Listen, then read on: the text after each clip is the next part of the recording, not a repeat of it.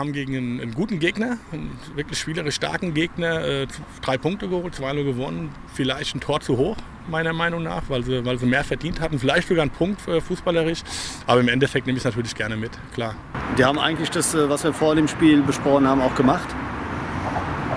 Wir haben die Tore nicht geschossen. Wir haben ja vier, fünf hochkarätige Chancen gehabt. Beim Stand von 1-0 mehrmals zum 1-1 hätten machen können. Beim 2-0 zwei, dreimal 100% auf 2-1 rankommen müssen da uns das nicht geglückt ist, ist das Spiel leider unglücklich verloren gegangen. Also ansonsten kann ich meiner Mannschaft keinen Vorwurf machen. Wir haben gekämpft.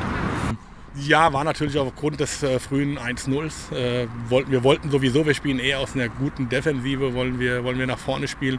Dann nach dem 1-0 war es dann auch klar, dass wir nicht mehr machen müssen. Heute haben uns auch zwei, drei wichtige Spieler gefehlt. Und deshalb war das einfach, das Spiel hat sich so entwickelt. Ja. Und im, im Endeffekt ja, hat es uns auch recht gegeben.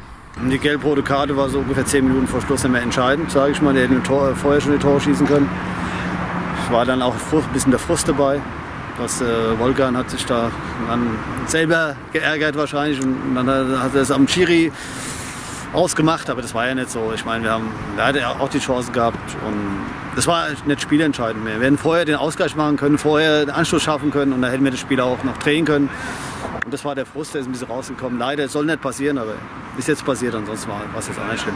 Wir haben einige Schwächen heute, wir haben aber auch einige Spieler, die nicht so fit sind. Also gerade mein Stürmer, der das 1-0 gemacht hat, Aishuna, ist meiner Meinung nach vielleicht der Beste in dieser, in dieser Liga. Und wenn der einigermaßen fit ist, er hat wenig trainiert, erst war Ramadan, jetzt hat er viel Arbeit und Uni und so weiter und so fort. Aber wenn der wieder ins Rollen kommt, dann sind wir natürlich auch gerade bei, bei Kontern äh, brandgefährlich. Heute hat ein bisschen die Spritzigkeit gefehlt, sonst gehe ich davon aus, dass wir auch schon früher das zweite und vielleicht sogar das dritte Tor machen. Geht am Mittwoch schon weiter gegen Pokalspiel, gegen Sportfreunde.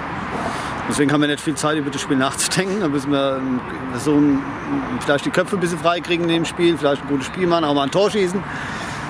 Und dann hoffen wir, dass wir am, äh, vielleicht ja schon am Mittwoch den, unseren neuen Trainer präsentieren können oder spätestens dann zum, zum nächsten Spiel. Ähm, und darauf dann aufbauen können, dass wir da wieder auch ein Erfolgserlebnis haben.